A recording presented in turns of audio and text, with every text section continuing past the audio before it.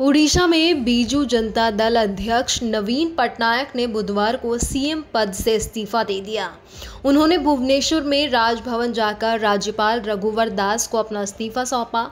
नवीन पटनायक पिछले 24 साल से राज्य के मुख्यमंत्री थे मंगलवार 4 जून को लोकसभा चुनाव के साथ उड़ीसा में विधानसभा चुनाव के भी नतीजे आए।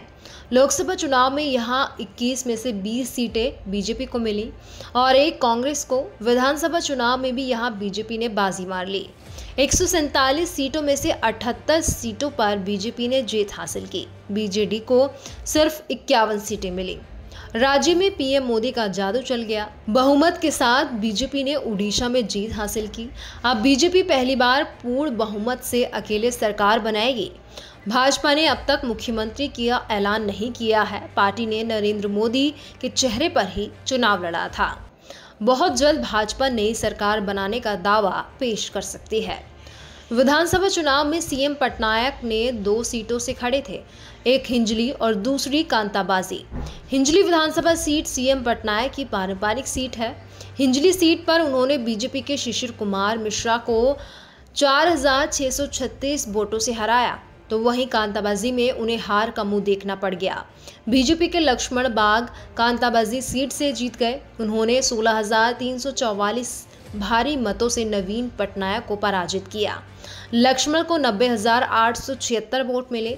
सीएम नवीन पटनायक को चौहत्तर वोट मिले।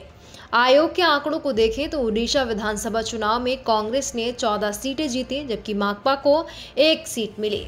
निर्दलीय उम्मीदवारों ने तीन सीटें जीती, आंकड़ों पर नज़र डालें तो बीजेद ने 2019 के विधानसभा चुनाव में 113 सीटें, भाजपा ने 23 कांग्रेस ने 9 सीटें जीती थीं। भाजपा बीजेडी गठबंधन 2009 में उड़ीसा में सत्ता में आया और नवीन पटनायक मुख्यमंत्री बने। साल 2009 में बीजेडी ने दोनों दलों के बीच सीट बंटवारे पर बातचीत विफल होने के बाद अपने 11 साल पुराने रिश्ते को भी तोड़ दिया था। पटनायक ने राज्य में इसके बाद हुए चुनावों में जीत हासिल की थी। दिलचस्प ये है कि दोनों दलों के बीच सीट बंटवारे पर बातचीत इस साल के लोकसभा और विधानसभा चुनावों से पहले भी शुरू हुई थी, लेकिन ये विफल रही। इस बार बीजेडी सुप्रीमो अपनी पार्टी को जीत नहीं दिला पाए। प्रधानमंत्री नरेंद्र मोदी ने मंगलवार को उड़ीसा के लोगों का धन्यवाद दिया। और उन्हें आश्वासन दिया कि उनकी पार्टी उनके सपनों को पूरा करने में कोई कोर कसर नहीं छोड़ेगी। एक्स पर एक संदेश में प्रधानमंत्री ने कहा कि धन्यवाद उड़ीसा ये सुशासन और उड़ीसा की अनूठी संस्कृति का जश्न मनाने की शानदार जीत है।